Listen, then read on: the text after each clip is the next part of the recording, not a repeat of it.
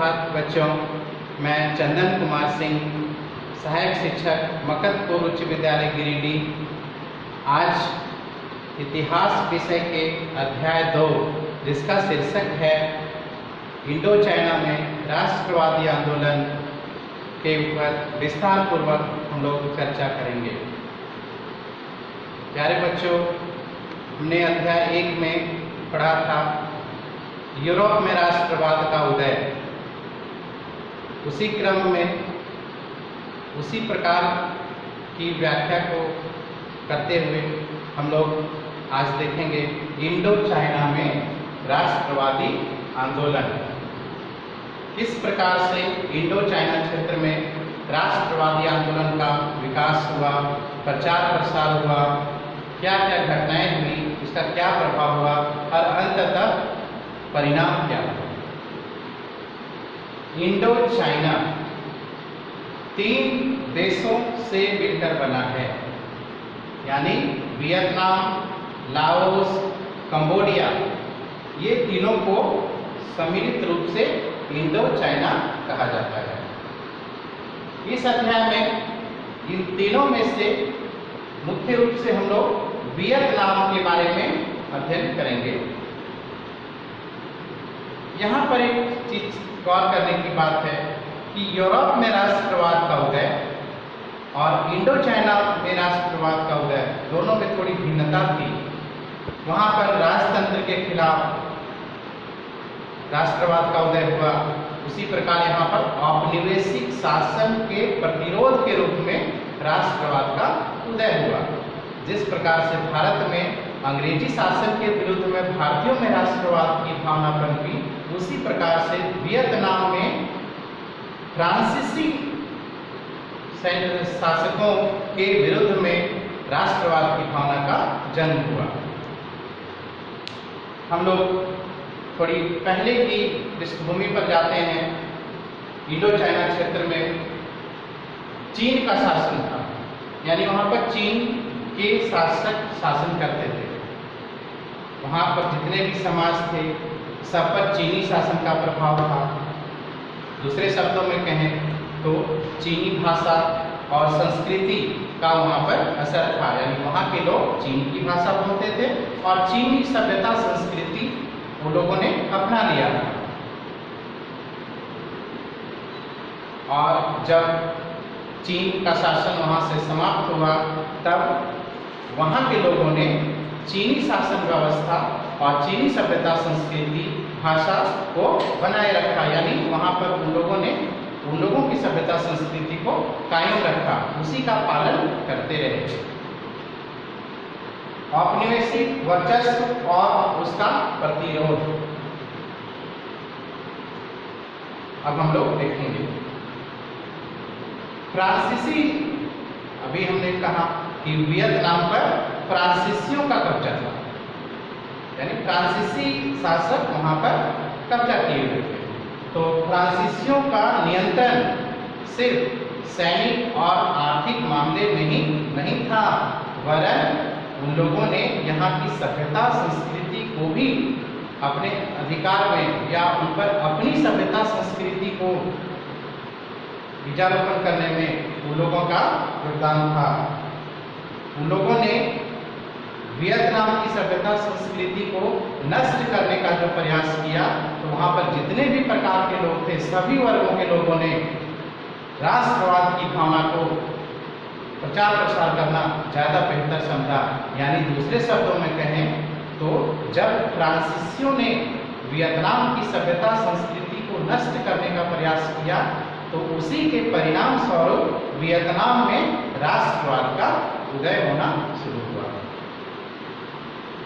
यहाँ पर एक बात है कि फ्रांसीसियों की सेना सबसे पहले वियतनाम में अठारह में आई। अठारह में आई। और 1880 के दशक तक 1880 के दशक तक वियतनाम के ऊपरी इलाके पर उनका कब्जा हो गया था। अब हम लोग आगे कर देखेंगे। फ्रांसीसियों को उपनिवेश की ज़रूरत क्यों थी बच्चों एक बात इतिहास लोग कहते हैं कि अगर अपने देश का विकास करना है तो उन्हें ज़्यादा से ज़्यादा उपनिवेशों का होना बहुत ज़रूरी है। यानी उस समय यूरोप के देश ऐसा मानते थे कि अगर अपने देश का विकास चाहिए तो उपनिवेश स्थापित करने होंगे। और उन लोगों ने अपने विजित या शासित देशों के प्राकृतिक संसाधन को प्राप्त करने के लिए एवं अन्य आवश्यक वस्तुओं को प्राप्त करने के लिए उपनिवेश बनाने शुरू कर दिए। दूसरी महत्वपूर्ण बात कि यूरोप के कुछ विकसित देशों का, कुछ सभ्य देशों का ये मानना था कि उनका दायित्व है कि जो सभ्यता के मामले में पिछड़े हैं, जो विकास के मामले में काफ़ी पीछे हैं, उन्हें मुख्य धारा में लाना, उन तक रोशनी पहुंचाना, उन्हें सभ्य बनाना इनका दायित्व है। और यही वो सोच है जो भारत में अंग्रेज़ों ने आकर कहा था कि हम भारतीयों को सभ्य बनाने आए यहाँ का विकास करने आए हैं। ठीक उसी तरह फ्रांसीसियों ने वियतनामियों को यह एहसास कराया कि वे यहाँ के लोगों को सभ्य बनाने आए और इसी के लिए वे प्रयासरत हैं। अपने इस उद्देश्य की पूर्ति हेतु, यानी अपने संसाधनों की पूर्ति हेतु, फ्रांसीसियों ने वियतनाम के एक महत्वपूर्ण उपजाऊ क्षेत्र मेकॉन्ग डेल्टा क्षेत्र, जहाँ पर चावल की खेती के लिए अनुकूल परिस्थितियाँ मौजूद थी में नहरें बनाना शुरू कर दिया, ताकि चावल की खेती की जा सके और अधिक से अधिक लाभ कमाया जा सके। और वहाँ पर नहरों का निर्माण किया, सिंचाई व्यवस्था की, जल निकासी का प्रबंध किया। इन सभी उपायों को कर चावल के उत्पादन में काफ़ी वृद्धि की गई। और उन्नीस सौ इकतीस ईस्वी तक आते आते वियतनाम तीसरा सबसे बड़ा चावल उत्पादक क्षेत्र बन गया। इतनी बड़ी मात्रा में वहाँ चावल पैदा होने लगा। फ्रांसीसियों ने वियतनाम में विशाल रेल नेटवर्क का निर्माण किया। इस रेल नेटवर्क का निर्माण सिर्फ़ वियतनाम में ही नहीं इसके बाहर लाओस, कंबोडिया आदि को भी इस नेटवर्क से जोड़ा गया। रेल नेटवर्क के निर्माण का उद्देश्य था कि हमारा व्यापार, व्यवसाय की ज़्यादा प्रगति हो, सेना की आवाजाही इससे हो सके और रेल के माध्यम से हम संपूर्ण वियतनाम पर शासन नियंत्रण स्थापित कर सके। अब हमारा अगला टॉपिक है क्या उपनिवेशों का विकास करना ज़रूरी है? अभी हमने कहा कि अगर अपने देश का विकास करना है तो उपनिवेश बनाने होंगे। ऐसी सोच थी यूरोपीय राष्ट्रों की। डच, अंग्रेज़, पुर्तगाल, फ्रांसीसी, सभी में आपसी प्रतिस्पर्धा बनी रहती थी अधिक से अधिक क्षेत्रों पर कब्जा स्थापित करने के लिए, ताकि उनका विकास होगा। तो एक एक चीज़ हम लोग पाते हैं कि अपने स्वामी राष्ट्र के हितों की पूर्ति के लिए स्वामी राष्ट्र का अर्थ है अपने विदित शासित क्षेत्र से अपने हितों की पूर्ति करने के लिए उन लोगों ने कई प्रकार के उपाय किए। उस समय के महत्वपूर्ण लेखक पॉल बर्नॉड ने कहा था कि उपनिवेशों की अर्थव्यवस्था का विकास करना बहुत ज़रूरी है। अगर वहाँ की अर्थव्यवस्था में विकास होगा तो वहाँ के लोगों का जीवन स्तर सुधरेगा, उनकी आय बढ़ेगी। वे बाज़ार में उपलब्ध सारी वस्तुओं को खरीदने योग्य बनेंगे। इससे हमारा बाज़ार बड़ा होगा और परिणाम क्या होगा कि वियतनाम के व्यापार व्यवसाय में इजाफा होगा, वृद्धि होगी। ऐसा सोच था एक लेखक का। लेकिन उन्होंने यहाँ यह तर्क दिया कि इस प्रकार के विकास में कुछ बाधाएँ हैं। जैसे वियतनाम की आबादी काफ़ी ज़्यादा वहाँ पर किसान लोग जो थे, वो काफ़ी कर्जे में डूबे हुए थे और उत्पादन भी मांग की तुलना में कम हो रहा था। उन्होंने इन बातों को बाधा के रूप में कहा कि यहाँ के विकास में ये बाधाएँ हैं। अतः यहाँ पर औद्योगिक विकास करना बहुत ज़रूरी है। उस समय वियतनाम की जो आर्थिक व्यवस्था थी, वहाँ के जो जीविका का स्रोत था, वो खेती और रबड़ के बागान थे और इन रबड़ के बागानों पर फ्रांसीसियों का और वियतनाम के धनी लोगों का अधिकार था। इस बगान में एक व्यवस्था लागू थी, जिसे एक तरफा अनुबंध व्यवस्था कहा जाता है। हम लोग एक तरफा अनुबंध व्यवस्था के बारे में जानेंगे क्या है। तो वियतनाम के बगानों में, बगान और मजदूर के बीच एक अनुबंध होता था, एक कॉन्ट्रैक्ट होता था। इस अनुबंध में सारे अधिकार बगान मालिकों को दिए गए थे और मजदूरों को तनिक भी अधिकार नहीं था। अगर कोई भी मजदूर इस अनुबंध के विरुद्ध कोई कार्य करते थे तो उन पर मुकदमा दर्ज हो जाता था, उन्हें जेल में डाल दिया जाता था, उन्हें सजा दी जाती थी।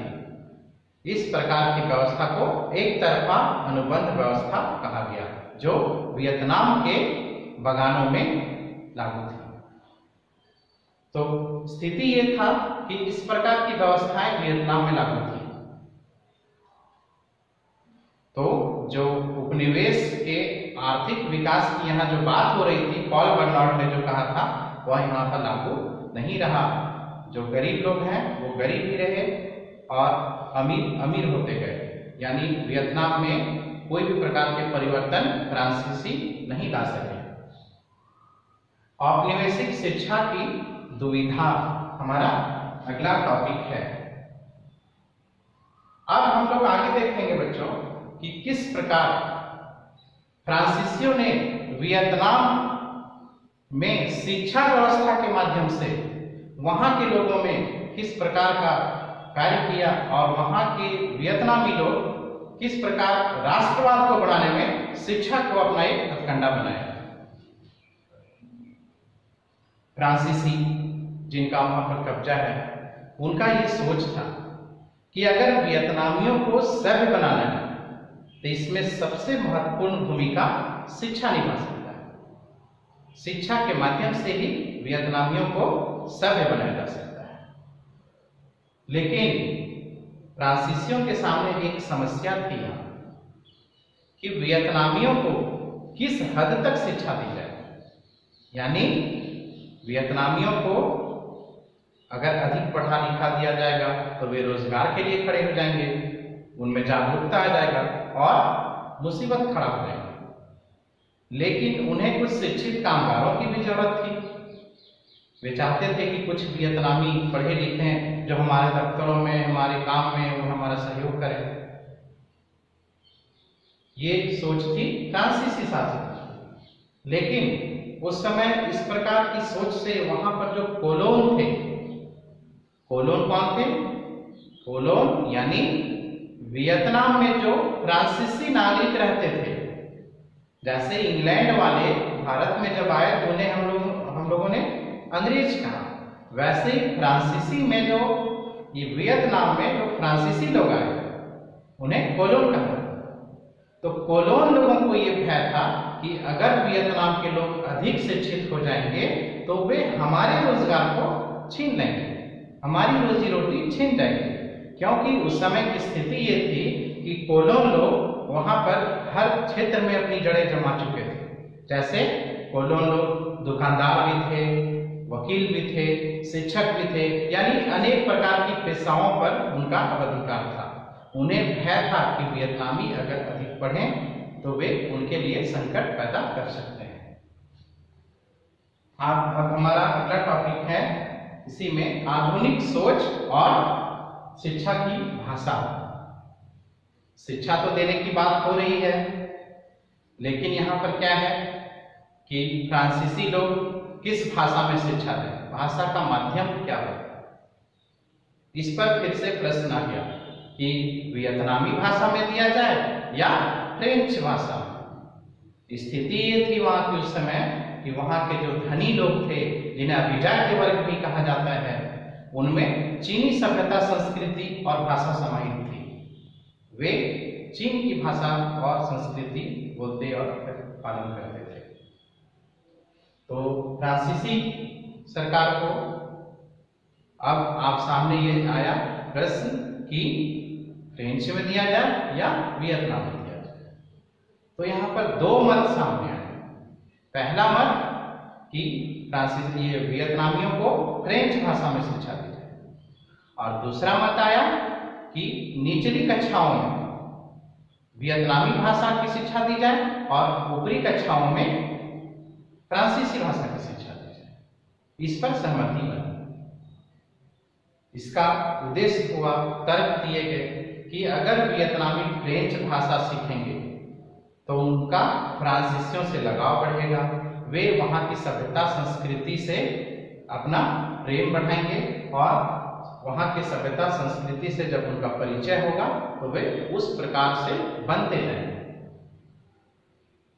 लेकिन धनी बच्चे जो हैं, वियतनाम के धनी वर्ग के बच्चे ही केवल स्कूल में दाखिला ले सकते थे क्योंकि गरीब लोगों में फ्रांसीसी स्कूलों में पढ़ने की क्षमता नहीं थी।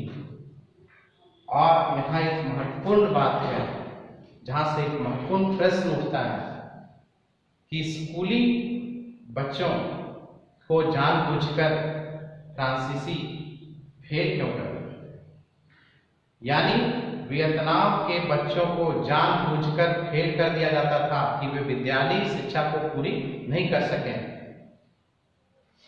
यहाँ पर क्या है कि फ्रांसीसियों को, कोलोनों को यह भय था कि अगर वियतनाम के बच्चे अधिक पढ़े लिख जाएँगे तो वे रोज़गार के लिए खड़े हो जाएँगे। इसलिए जानबूझकर उन्हें परीक्षा में फेल कर दिया जाता था। केवल दो तिहाई छात्री है जो स्कूली शिक्षा पूरी कर पाते थे। एक आंकड़ा है। 1925 ईस्वी में वियतनाम की आबादी 1.7 एक दशमलव सात करोड़ थी और केवल 400 से भी कम विद्यार्थी स्कूली पढ़ाई को पूरा कर पाए थे। इतनी बुरी हालत थी वियतनाम। में स्कूली पाठ्यक्रम में, स्कूली किताबों में वियतनाम के बच्चों को पढ़ाया जाता था कि फ्रांसीसी शासक जो हैं, वो बहुत अच्छे हैं, उनकी प्रशंसा की जाती थी। उनका शासन बहुत ही बेहतर शासन है। उन्हें यह पढ़ाया जाता था कि वियतनाम के लोगों में बौद्धिक काम करने की क्षमता नहीं है। वे केवल शारीरिक काम को अच्छी तरह से कर सकते हैं, यानी खेती बाड़ी को अच्छी तरह से कर सकते हैं। उन्हें माहिर नकलची कहा गया। वियतनामियों को माहिर नकलची कहा गया और तर्क दिया गया कि उनमें रचनाशीलता का अभाव है। जब से फ्रांसीसी यहाँ पर आए हैं, अमन चैन कायम है, यहाँ पर शांति स्थापित हो गई है, यहाँ पर बेहतर शासन चल रहा है, चोर डाकुओं का भय नहीं है, किसान आराम से खेती का काम कर रहे हैं। इस प्रकार की बातों को विद्यालय में बच्चों को पढ़ाया जाता है अब आगे का टॉपिक है आधुनिक दिखने की चाह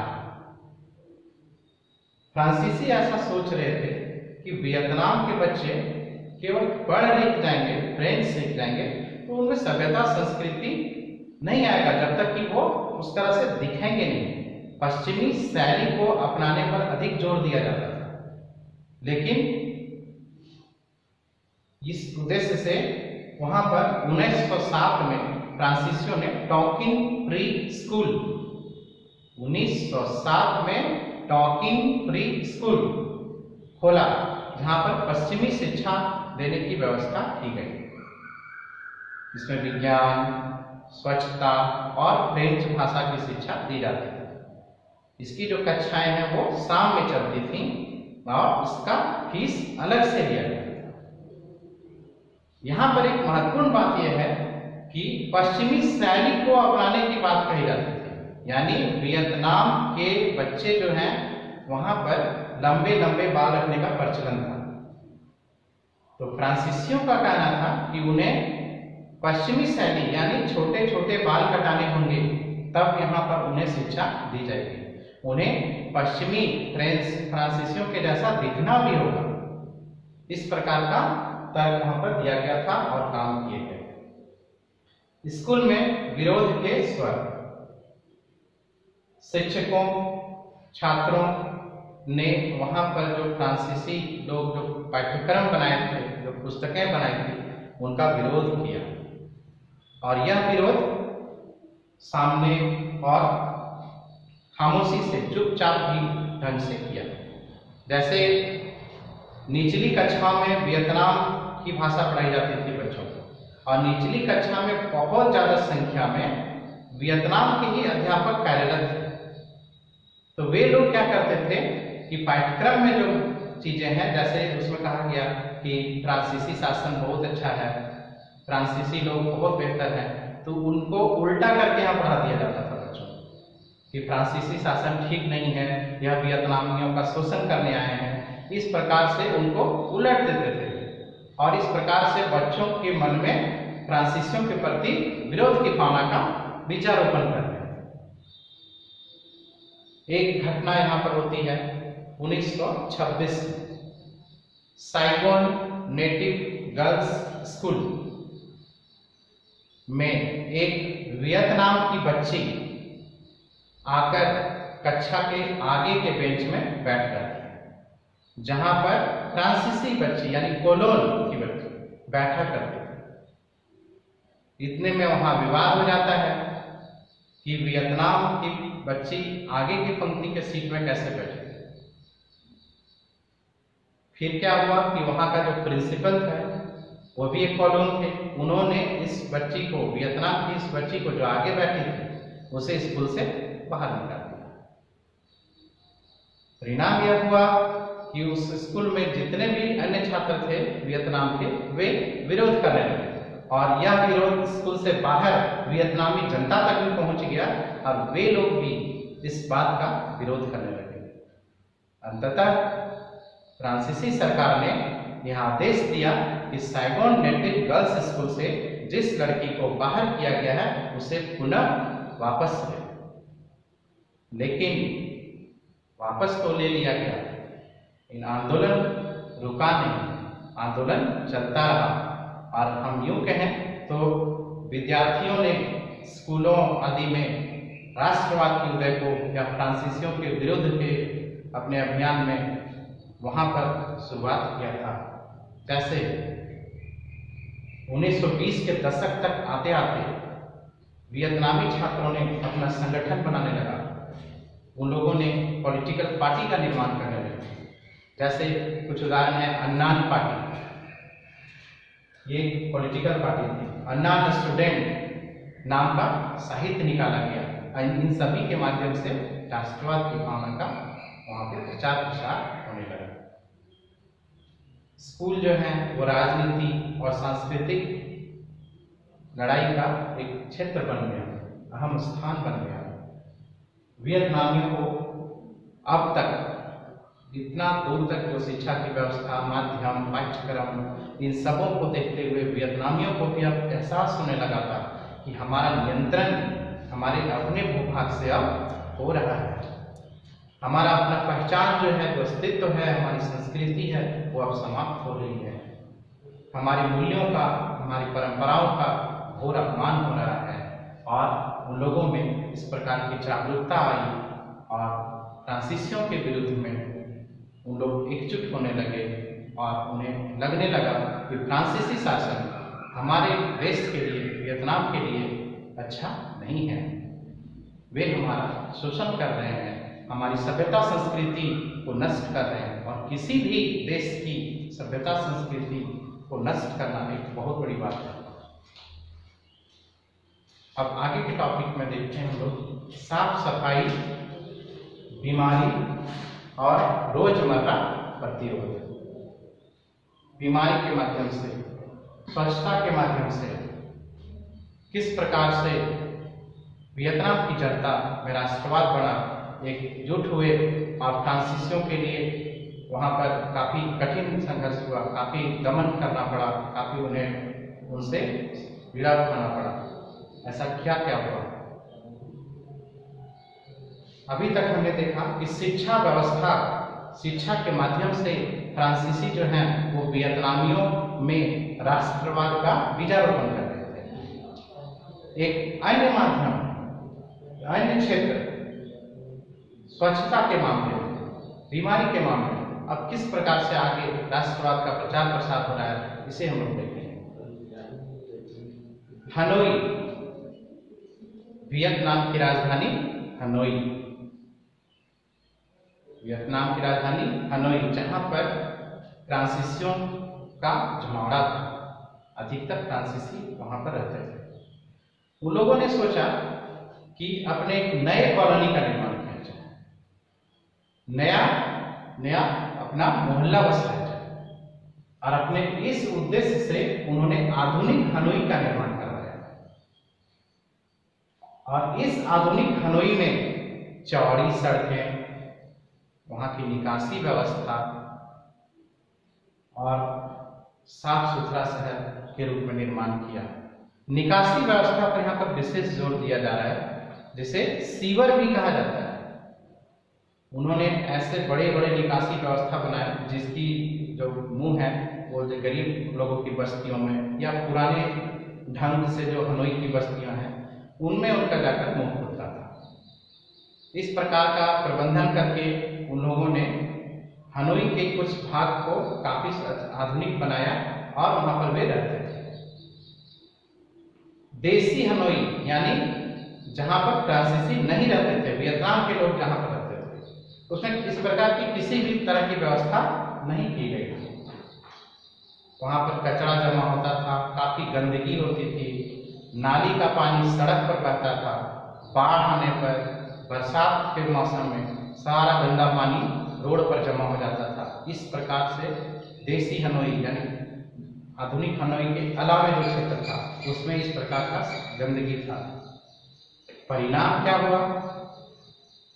परिणाम यह हुआ कि 1903 में वहाँ पर एक प्लेग नाम का रोग फैला जिसे ब्यू बॉनिक प्लेग कहा गया।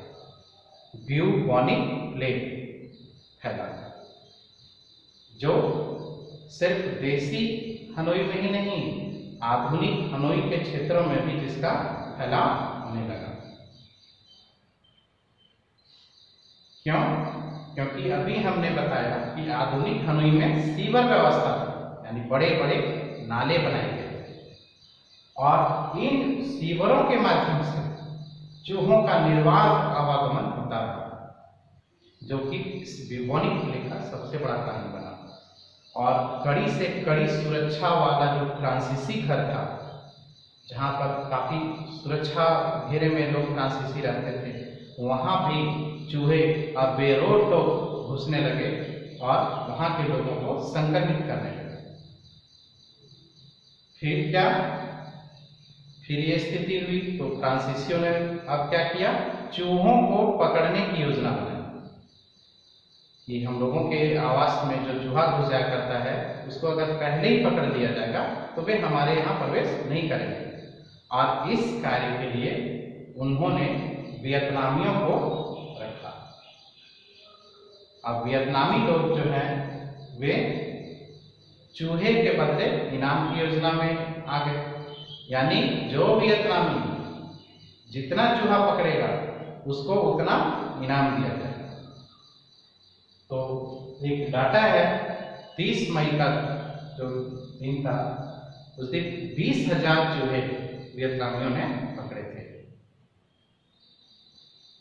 चूहे पकड़ने के लिए वियतनामियों ने बहुत से तरीके अपनाए। जैसे उन लोगों ने, जब फ्रांसीसियों ने कहा कि मुझे प्रमाण देना कि आपने कितने चूहों को पकड़ा है तो वियतनामी क्या करते थे? चूहों को पकड़ लेते थे और उनका पूंछ काटकर वहाँ पर सबूत के रूप में पेश करते थे। जिससे प्रमाणित होता था कि किस वियतनामी ने कितना चूहा पकड़ा। लेकिन वियतनामियों के लिए यह रोजी रोटी का एक साधन बन गया। और स्थिति ये हुई कि वे लोग चूहा पकड़कर छोड़ देते थे और कुछ वियतनामी तो अपने घरों में ही चूहा पाल लेते परेशान होकर, जब इस चीज़ से फ्रांसीसी परेशान हो गए तो वे लोग इससे उब कर इस कार्यक्रम को समाप्त कर दिया यानी चूहे पकड़ने की योजना का समाप्ति कर दी तो हम लोग यहाँ पर देख रहे हैं, बीमारी की बात है तो क्या है कि वियतनामी जो है, वो किसी भी रूप से फ्रांसीसियों का सहयोग करने को तैयार नहीं शिक्षा की जब बात हुई तो क्या है कि जब आप शिक्षा का माध्यम फ्रेंच बना रहे हैं, शिक्षा के पाठ्यक्रम में बदलाव ला रहे हैं तो उसे वियतनामी बच्चे स्वीकार नहीं कर रहे हैं। वियतनामी शिक्षक स्वीकार नहीं कर रहे हैं। वियतनाम की जनता की संस्कृति सभ्यता पर जब प्रहार हो रहा है तो वे लोग अपने इस प्रहार के विरुद्ध में एकजुट हो रहे हैं। यानी वहाँ के लोगों में राष्ट्रवाद की भावना का धीरे धीरे विकास हो रहा है। ये चूहों की धरपकड़ की भी जहाँ तक बात है तो यहाँ पर भी वियतनामी जो हैं, वे सहयोग नहीं कर रहे हैं सरकार का। और वे दिखा रहे हैं कि हम किस प्रकार से हम उपनिवेशवाद का विरोध कर सकते हैं, किस प्रकार से असहयोग कर हम उपनिवेशवाद का विरोध कर रहे हैं। तो वियतनाम की आज़ादी 1945 ईस्वी में हुई थी। यानी भारत से दो वर्ष पहले। लेकिन उसे गणतंत्र बनने में, वियतनाम को गणतंत्र बनने में अगले 30 साल तक इंतज़ार करना पड़ा, यानी 1975 तक।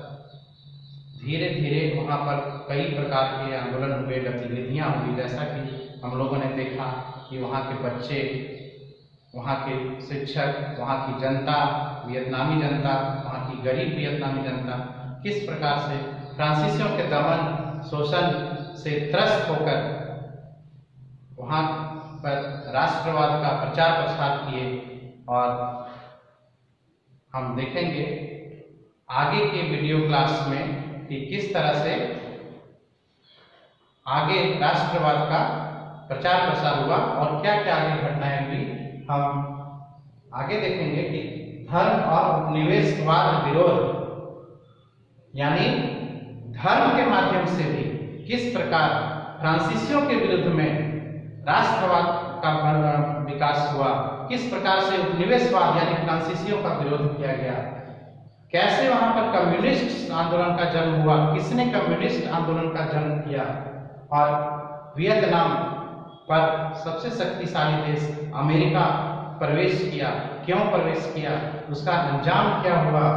और इस अमेरिका के विरुद्ध युद्ध में किस प्रकार वहाँ की महिलाओं ने लोहा दिया? किस प्रकार वहाँ पर महिलाओं ने संघर्ष किया? इन सभी बिंदुओं को आप प्यारे बच्चों घर पर अवश्य पढ़ेंगे और अगले वीडियो क्लास में हम इन सभी टॉपिक्स पर चर्चा करेंगे। अब हम आज जो पढ़ाए हुए बिंदु हैं, उनमें से कुछ प्रश्न आपको होमवर्क के लिए दे रहे हैं। प्यारे बच्चों, अभी तक हमने जो इंडो चाइना क्षेत्र के राष्ट्रवाद के उदय के बारे में चर्चा किया, थोड़ा सा उसका एक रफ स्केच यहाँ पर दिखाया जा रहा है। Vietnam, Laos, Cambodia. आप विश्व के राजनीतिक मानचित्र में देखेंगे जब तो इस प्रकार से एक छोटा सा लटका हुआ क्षेत्र दिखेगा, जिसका ये जुम रूप है, एक रफ है।